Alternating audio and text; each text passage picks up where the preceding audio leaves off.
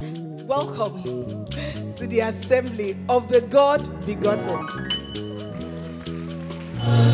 Raise your hands and acknowledge the presence of the Holy Spirit in this house. Tell him, Holy Spirit, I acknowledge that you are here. Thank you for pouring your spirit out. I acknowledge your presence. I acknowledge your presence, Holy Spirit. I welcome you into my heart, into my hand, into my heart, into my being, into my person. I acknowledge your presence in this place.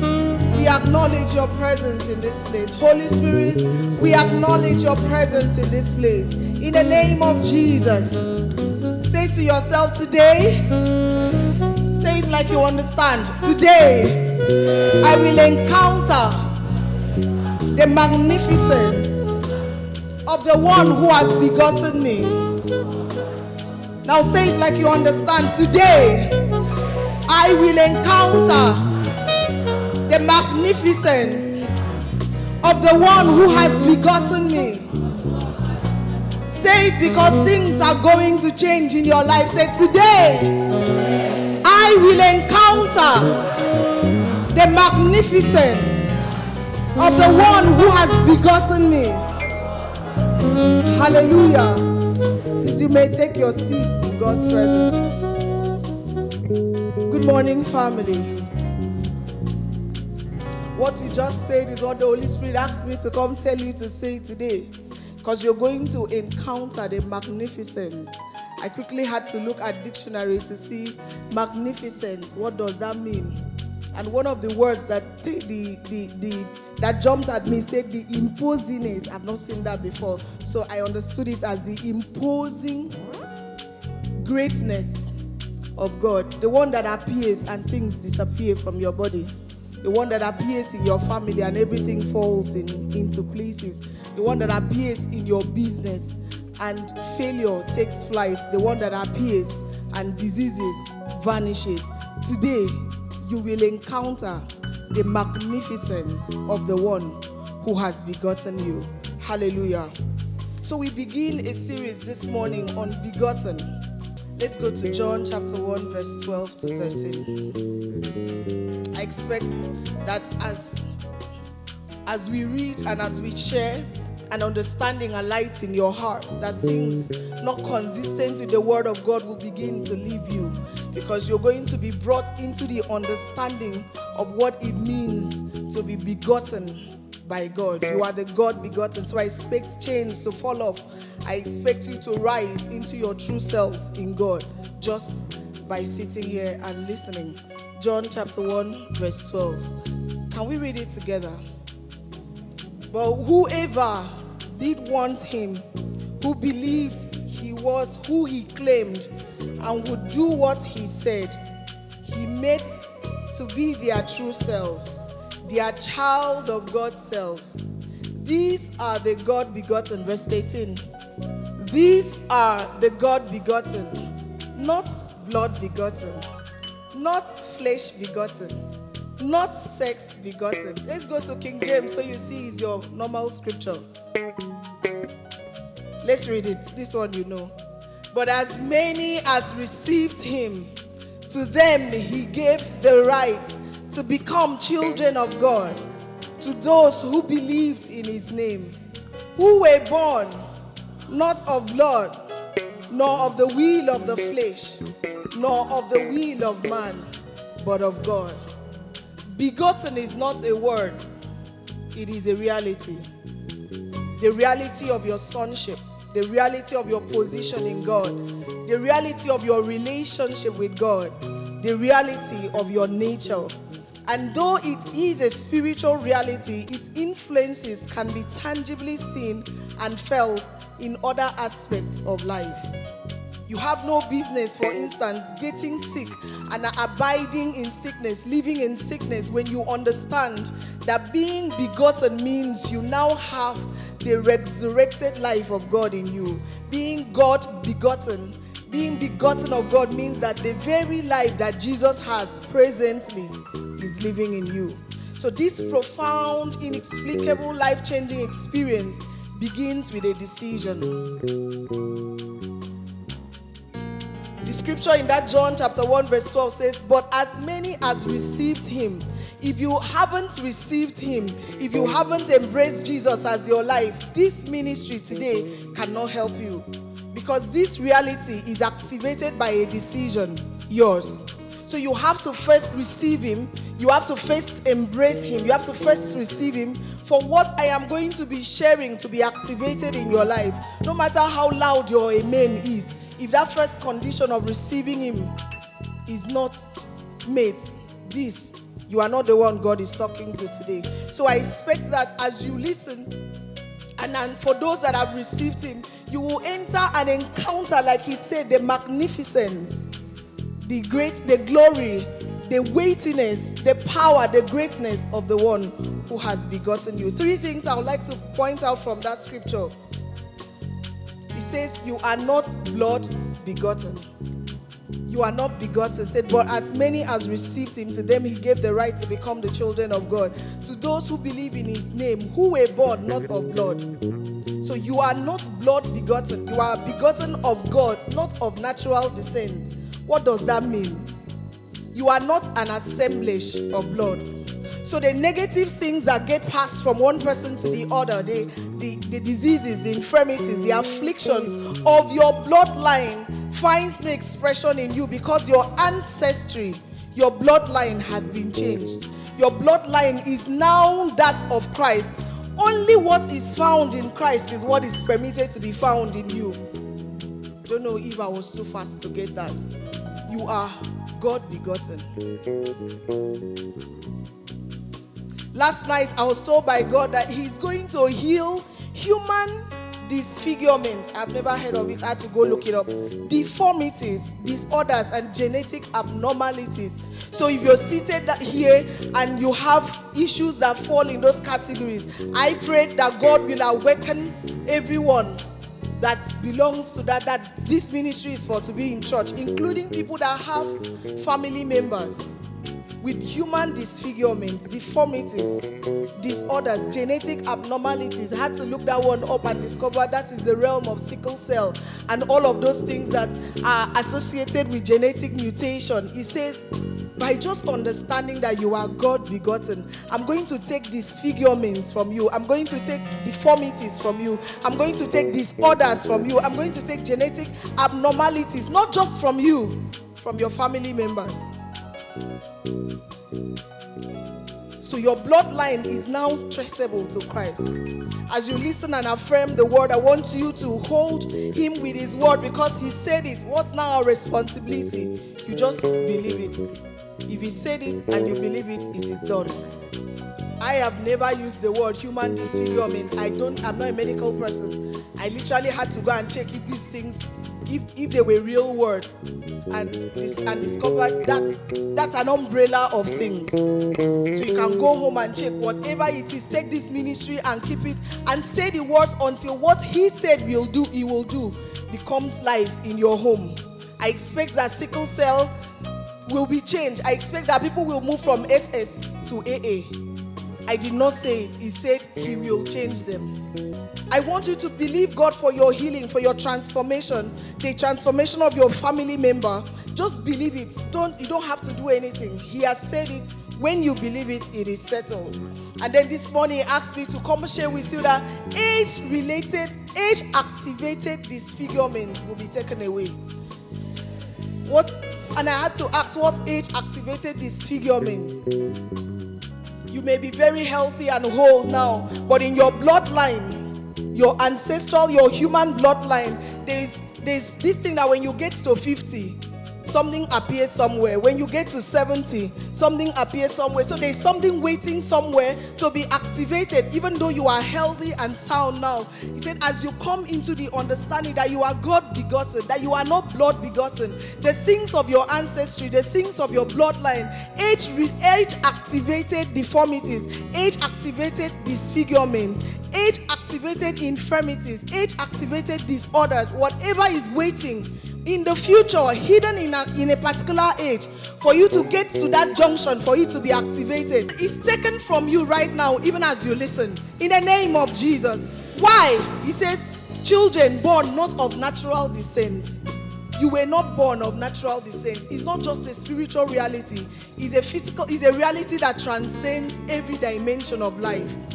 You are not a product of human or natural descent. You have to come to that understanding. You have to walk in that awareness. You have to walk with that understanding that the things you carry in your bloodline, the genetic things that are still disturbing you, are there illegally. Why? You are begotten of God. And so everything that came to you genetically, came to you by blood, came to you by ancestry, I take them from you this morning in the name of Jesus.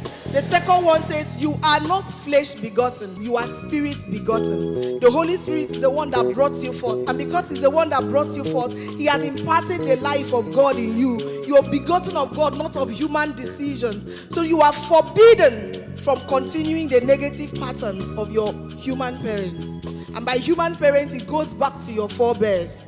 The things they saw, the things that happened, the patterns in your family, you have been taken out if you have received Him.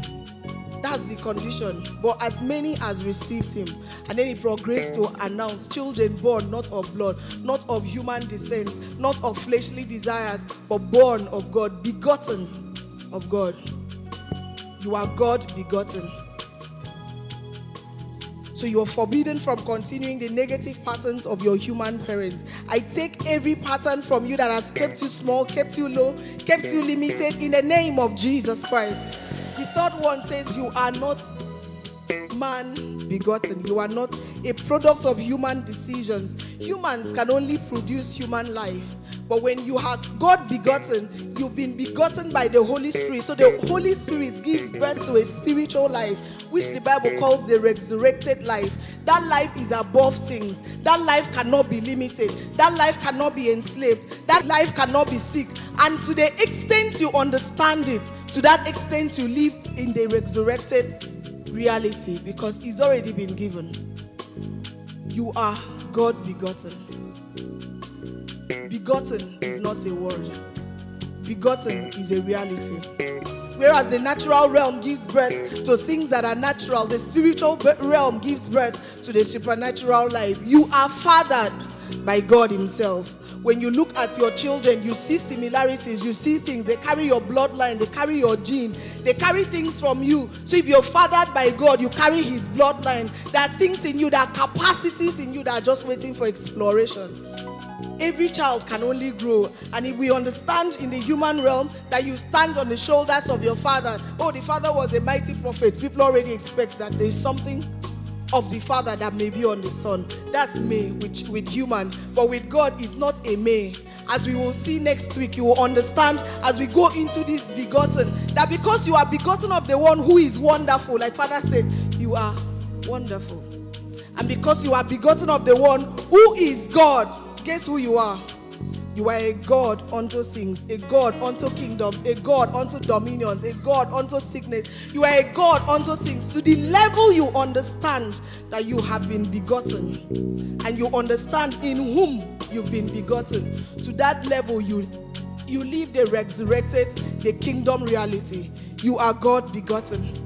You were brought forth by Christ. Your ancestry isn't what you, you used to know anymore. So don't wake up and say, in this family, this is what happens. That is not your family. Don't wake up and say, my sister died of this. I'm already seeing the symptoms. Take it out. You are God begotten. You've been uprooted from there and planted in the family of God. What you are supposed to see is what is in consonance, in alignment with what happens in the family of God, with what is in Christ. And so when you look at the Son, if you're wondering what happens with the Son, go look at the whole book of John. You will see the life of the Son expressly. When you look at the Son, anything you don't see in Christ is not supposed to be found in you. Anything, everything you see in Him is yours. The, the, the dates you saw in him was so that you can live longer. You and I can stand and continue his legacy and manifest his dominion. You are God begotten. If that sounds like you, or even if you have not, you've never made a decision to embrace him, as we stand, bow your head before you follow to say those words because they are spirit and they are life and they are going to do what the honor of the word sends them to do. Before you say them, talk to the master and tell him, I receive you Because I cannot live this life as an ordinary man. You cannot cheat yourself out of this reality. Please, let's rise and affirm the word of God together. Say with me, I am God begotten. I am not blood begotten. Say, I am God begotten. Christ is my life. I victoriously overcome the world. Only that which flows from God can affect me. No divination or sorcery can work against me. Sicknesses and diseases can no longer affect me. Say, I am God begotten. It's an announcement. I have been fathered by God. Any genetic abnormalities that I carried are miraculously resolved. Diseases, infections, disorders, and dysfunctions are taken from me. I have the divine, indestructible life of God in me. The evil one and all his associates cannot touch me. My life is not an experiment in trial and error. I am God begotten. I am not an orphan. He that is in me is greater than he that is in the world. He that is in me is triumphant. I am triumphant. He that is in me is the all sufficient one. I am sufficient in his sufficiency. He that is in me is an overcomer. I am an overcomer. I am above the wells of the devil and the schemes of men. I am God begotten. The flesh has no hold on me. I am not subject to the elemental forces of this earth. I am above corruption and failure. I am above hopelessness and despair. I am above weakness and compromise. I am God begotten. I am a living spirit. Human disfigurement and deformities are taken from me. Age activated deformities taken from me. Age activated dysfunction are taken from me. I am above pain and shame. I am above death and decay. I am above mourning and weeping. I am above evil and wickedness. I am God begotten. Joy flows freely to me. Wisdom flows limitlessly to me. Peace comes to me unhindered. Wealth streams endlessly to me. Blessings flow boundlessly to me. Open your mouth and thank God for begetting you. Say, Thank you, Father, for I am begotten of you. I am God begotten. I am garmented with the Holy Spirit. Mention the things you are above because you are God begotten. I am above sickness. I am above failure. I am above mutations. I'm above limitations. I am decked with the ornaments of prosperity and well-being. I am above problems. I'm above. I am above sadness. I'm above sorrows. Open your mouth and begin to declare, I am begotten of God. I am not begotten of man. The things in my family cannot see me. The diseases of the bloodline cannot find expression in me. I am healthy. I am healthy. I am healthy. I am the life of God. I am God begotten.